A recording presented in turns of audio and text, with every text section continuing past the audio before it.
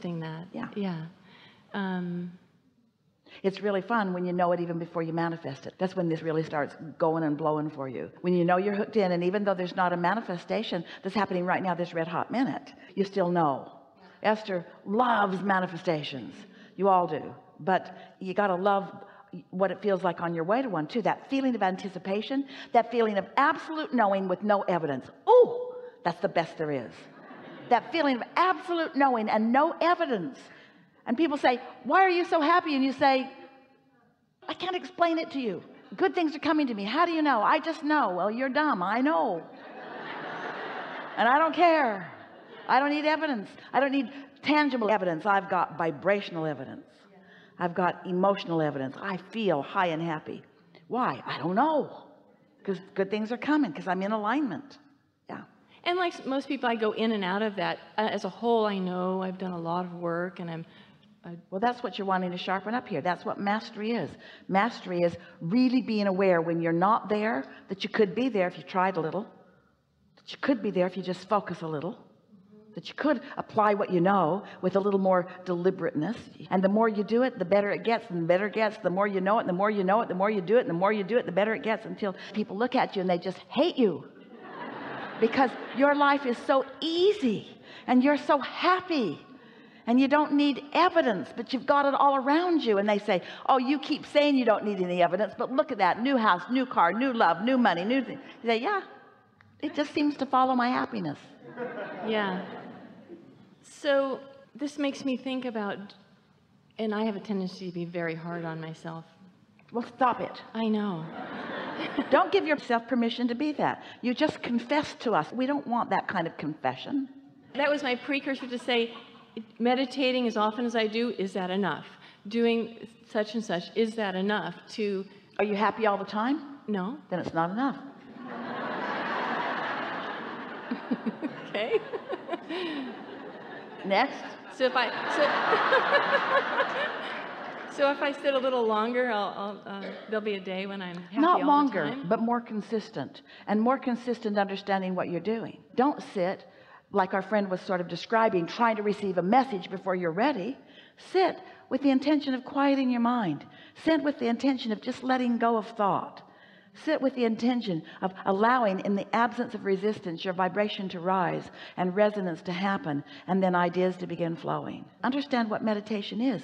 Meditation is the way you let your inner being teach you alignment. That's what meditation is. Your inner being is always there. And you're not always there but when you meditate you could always be there. So my ultimate question was is there any message for me personally um, meditate. meditate. Every day for 15 or 20 minutes. And in that 15 minutes you don't feel that you've quieted your mind? Don't stay longer because now you're just having a battle with yourself. Get on with your day and do it again tomorrow.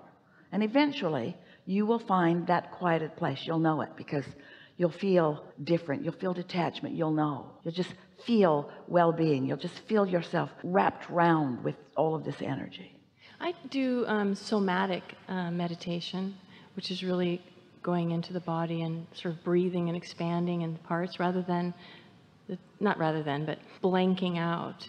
Well the reason that we encourage the releasing of thought is because your inner being knows exactly where you are in relationship to everything and will offer the influence to your body. Sometimes people get so involved in meditative processes that their minds are so active they never really accomplish alignment with their inner being. They just accomplish alignment with the book they're reading. We want you to accomplish alignment with your source who's real time in real now offering you whatever you're asking for. Whatever you're asking for in your vortex whatever your cells are asking for in your vortex. So I've unconsciously draw, pulled in um, the life that I have today which is you know 56 no children. unconsciously? Well because if in the, the thought the fact that we manifest what we truly want you know where I have said all my life I've wanted to be a mother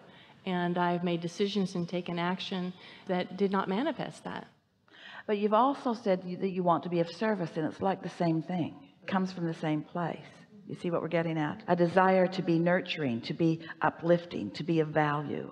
And so sometimes you are speaking more literally than you really intend. So why is that? That I do that.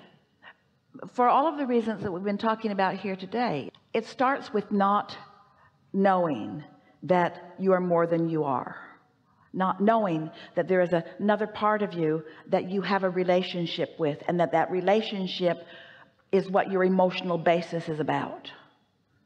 And so a lot of people are there. Most people in fact are trying to guide themselves based upon what others think or what others have decided for them.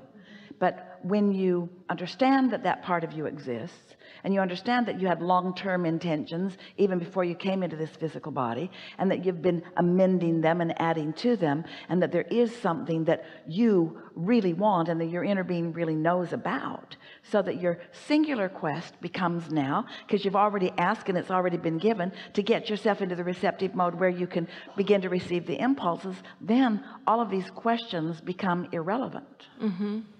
why is it that we are afraid of becoming the, a very powerful self. I can personally attest to that. I, I have a fear about well, being a very powerful woman. Well, we don't believe you. We think that's just things you're making up because you don't think you are. And so you're just explaining why you're not what you really want to be by saying, I guess I don't think I really wanted to be it. There's a part of me that believes I am. Yeah. We want to ask you some questions okay. because to be a really powerful woman, which is a woman who is of service, which means a woman who is under the influence of source which means a woman who is influencing in connection with source. In order to be that powerful woman these are the things that you find along the way in that. You feel joy. Do you want joy? Yes. Then you want to be a powerful woman. Do you like clarity? Yes. Then you want to be a powerful woman. Do you like insight into things? Then you want to be a powerful woman. So can you see how that's just stuff you've been making up. Maybe you heard it somewhere but none of it rings true does it? I don't know I followed you. You mean all that you just said? Yes it rings none, true. none of that not being a powerful woman because I don't want to be. No it's almost like bird bird. I just get distracted from my mission my um, this other voice that's and all the physical actions and things I've done to produce who I am but today. here's the thing that we want you to hear you heard a whole lot here today and we acknowledge that you heard it. So that all of these things that you are saying are irrelevant given what you now know. But you're still saying them because you've got the habit of saying them. You've decided that that's who you are but that's not who your inner being knows that you are and right now that's not who you know that you are. So our encouragement is to no longer practice that old defeating powerless conversation think how powerless the words are that I'm afraid of my own power. Have you ever heard any more powerless words than I'm afraid to be powerful? It is completely illogical. And you want to know why you do it? Because you have decided that others don't like powerful women and you don't want to upset them.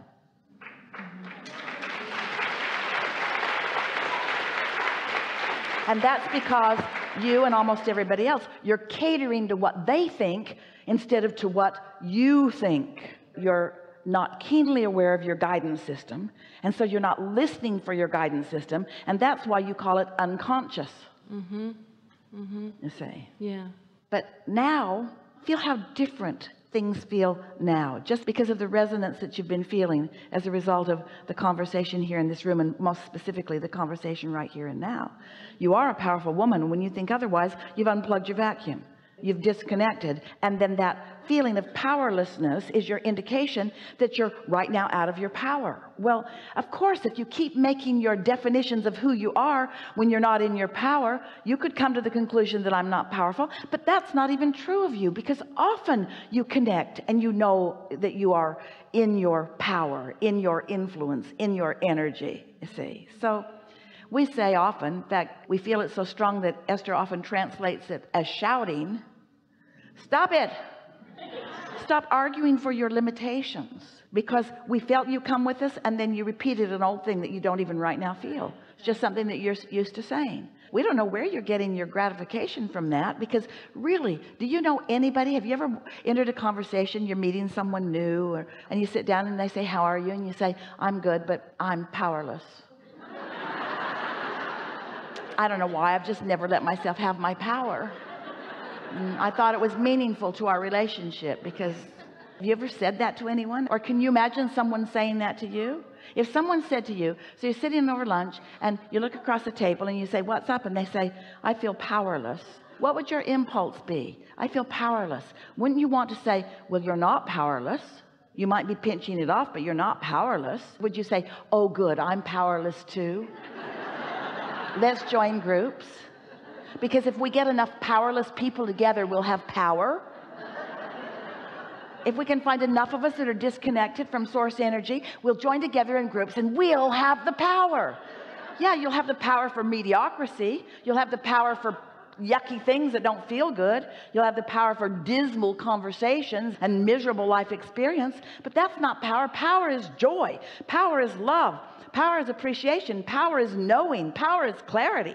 Power is the universal energy that creates worlds flowing through your fingertips. So you say I'd like some of that. And the universe says there you go. And you say I did that because I have power. Yeah. Anything you want. And so what you're getting on a daily basis is just how much power you think you have how much that you're allowing yourself to have. Sometimes you don't allow it because other people have told you you're not worthy. Sometimes you don't allow it because you yourself don't or you feel like you're not prepared. You make up all kinds of reasons for not knowing that you can have it if you want. But if you could just catch the spirit of being ready to be ready to be ready and that it will just continue to unfold in pleasing ways for you. And that no one is keeping score except you and your scorekeeping is not good for you. Just keep score of how happy you are and watch what happens. I was way happier today than I was yesterday. Ooh, I had so many happy moments today. Start keeping track of things that really feel happy that moments of true happiness and then watch how things just start shaping up for you. So it's about just getting in that resonance and just making it up moment just going making it up like you're saying follow impulses just be in the resonance and make it up moment to moment. It's just be in well here's space. the thing. You already made it up because life caused you to know what it was and you put it in the vortex and it's made up. And source says yep we're with you. We got you we're flowing everything that we are to that and you said all right I'll line up with that. I can tell how close I am to it by how passionate I feel or how enthusiastic I feel or how eager I feel. Follow your bliss follow your guidance follow the feeling that your inner being has going. And if you're far from it don't try to do it. You'll just fail and then you'll tell stories about yourself. Do it when it's easy. Do it first thing in the morning do as much as you can to keep yourself feeling good. Be as nice to yourself as you can. If people aren't nice to you avoid them. Don't bump up against things that don't feel good. Don't try to explain anything to anybody. They're not going to get it anyway. You just develop a relationship that you understand with your inner being and then live what you came to live. And others will catch on or they won't. But when you catch on when you've got that pouring through you others will gravitate to you. They'll be all over it. They'll want to play with you. They'll want to know what you know and you can demonstrate through the power of your example what you know. You don't vacillate on what you know. I know this. How do you know that? Never mind. I just know. Well explain to me how you know. It if I explain it to you I might not know it as well so leave me alone. I know it all right? I know it. I'm not going to explain it to you. You're not going to talk me out of what I know. Oh damn it's gone. Tomorrow I'm not talking to you. Good enough? That's very good. Thank you so much. It's really good really good